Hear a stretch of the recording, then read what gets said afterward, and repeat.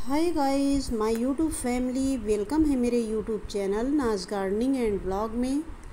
तो फ्रेंड्स देखिए, मैंने इतनी कोल्ड ड्रिंक की बोतल इकट्ठा करके रखी हैं। जैसे जैसे गर्मी बढ़ती जा रही है, वैसे वैसे घर में कोल्ड ड्रिंक की बोतल वगैरह आ रही हैं और मैं उनको इकट्ठा करके रख लेती हूँ। तो ये थम्सअप की बॉटल हैं और आज मैं इनसे कुछ अच्छा सा एक DIY लेकर आई हूँ। जो दो तरीके से मैं बनाऊँगी, एक बॉटल में दो तरीके के बनाऊँगी। तो सबसे पहले इसका ये रैपर रिमूव कर लेते हैं, जो स्टिकर वगैरह लगे होते हैं बॉटल को साफ़ कर लेते हैं। उसके बाद फिर अपना फेवरेट कलर मनचाहा कलर लेकर बॉटल को पेंट कर लेते हैं। तो ये बॉटल सब पेंट हो चुकी हैं और इनको सूखने के लिए रख देते हैं।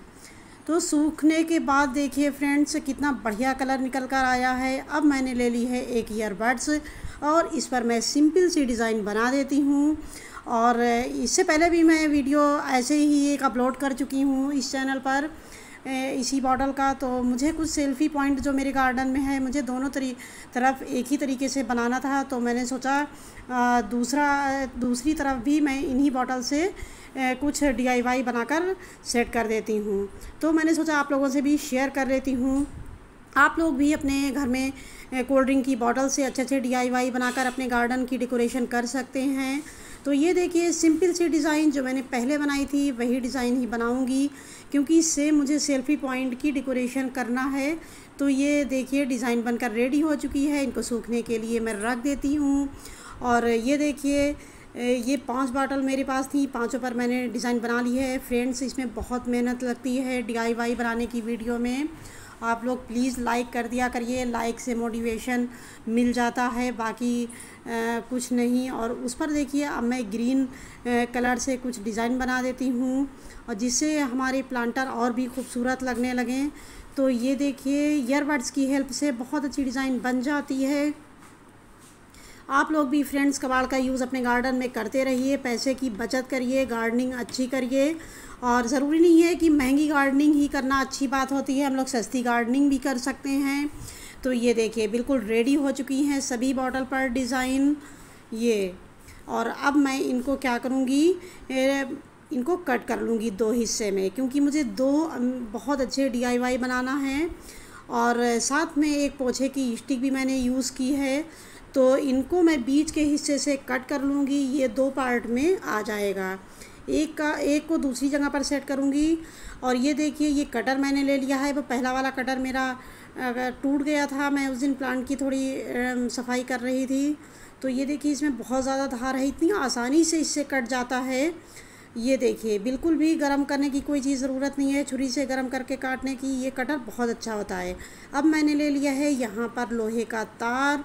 और इसको मैं इस तरीके से बना दूँगी हुक की तरह, ताकि मुझे ये हैंग करने में आसानी रहे। तो ये देखिए, मज़बूत भी रहता है और इस तरीके से हुक मैंने इसमें बना दिया है। और ये दूसरा वाला हिस्सा जो है, इसमें दूसरे तरीके से लगाना है। इसमें दो होल किए हैं मैंने, क्योंकि ये बांधना है। यहाँ पर आप देख सकते हैं, इसमें दो होल किए हैं और कुछ अलग तरीके से मैं ये तार लगा रही हूँ। जैसे मैंने पहले लगाया था, वैसे नहीं लगा रही हूँ। आप लोग इस बात का ध्यान रखिएगा, अगर आप लोग ये वाला डीआईवाई बना रहे हैं। तो ये देखिए, इस तरीके से इसको फोल्ड कर देना है। और ये ले ली है मैंने पोछे की स्टिक ये कब से पड़ी हुई थी गार्डन में? तो आज मैंने सोचा इसका यूज़ कर ही लेती हूँ। तो इसको मैंने पेंट कर दिया था। पुरानी बहुत लग रही थी, जंक वगैरह लग गई थी। तो ये देखिए, जो ऊपरी हिस्सा है, इसको मैं यहाँ पर टाइट कर दूँगी। इस तरीके से, ताकि ये बिल्कुल फिक्स हो जाए यहाँ पर। तो ये देखिए, सारी बॉटल मेरी टाइट हो चुकी हैं और एक बॉटल मैं ऊपर रखूँगी। पाँच बॉटल मेरे पास थी तो वही उसी तरीके से मुझको बनाना था।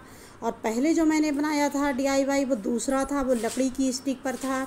तो यहाँ पर मैंने ले ली है पारचुलाका की कटिंग, उसको मैं लगा देती हूँ, मिट्टी पहले से रेडी कर रखी थी। तो ये प्लांटर देखिए टावर मेरा कितना खूबसूरत लगने लगा है पोछे की स्टिक से।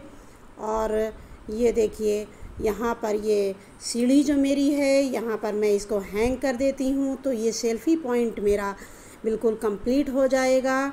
ये देखिए, इसीलिए मैंने इसमें हुक लगाए थे फ्रेंड्स। वीडियो कैसी लगी? वीडियो को लाइक करें। Thanks for watching. अल्लाह हाफिज़।